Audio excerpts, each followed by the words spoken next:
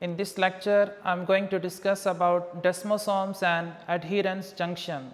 Main points of the lesson are structure of desmosomes and adherens junction, cadherins, cytoplasmic plaque, intermediate filaments and role of calcium ions. Desmosomes are the points of attachment between two cells. Suppose we have two animal cells, they are bounded by plasma membrane. This is the plasma membrane of cell 1 and this is the plasma membrane of cell 2. And these two cells are attached by desmosomes. The term desmosome originated from two ancient Greek words that is desmos and soma. Desmos means bound and soma means body. Desmosomes, they are present in epithelial cells and muscle cells. Structure of desmosomes. Desmosomes are composed of three components.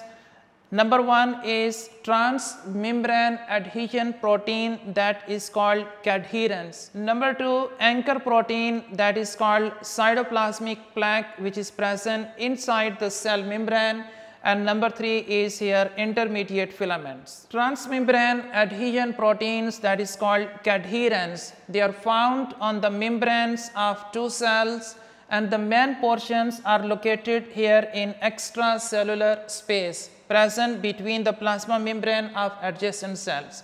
So, extracellular part of one cell's cadherins bind to extracellular part of adjacent cells cadherins in the space between the two cells. Cadherins interact in the space between them holding the two membranes together and each cell's cadherin molecule contains a tail and that tail insert itself into the respective cell. Inside the cell, cadherin tail attached to a disc of dense protein structure that is called cytoplasmic plaque which is red in image at right and left and this cytoplasmic plaque which connects to cells internal skeletal framework that is intermediate microfilaments and helps to anchor the junction. Desmosomes connect the adjacent cells together ensuring that the cells in organs and tissues that stretch as in case of skin and cardiac muscle they remain connected as unbroken sheet. In epithelial cells, these junctions are small disc shaped and they are called spot welds between the adjacent cells.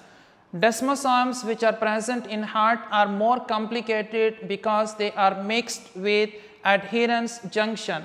Now, what is the difference between adherens junction and desmosomes? In desmosomes, cadherins connect to cytoplasmic intermediate filaments but in case of adherens junction, cadherins connect to cytoplasmic actin filaments.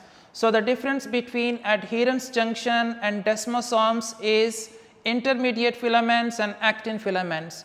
Intermediate filaments are present in case of desmosomes and actin filaments are present in case of adherens junction. Advantage of desmosomes that they hold the cells together at one point as a rivet or spot welds.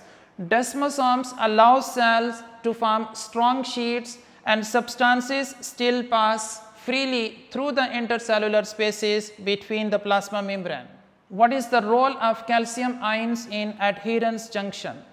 The extracellular portions of cadherin molecules of adjacent cells are bound together by calcium ions or another protein in some cases. This means that functional as well as morphological integrity of adherens junctions are calcium dependent. If you remove calcium from the junction, this type of cell junction would disintegrate.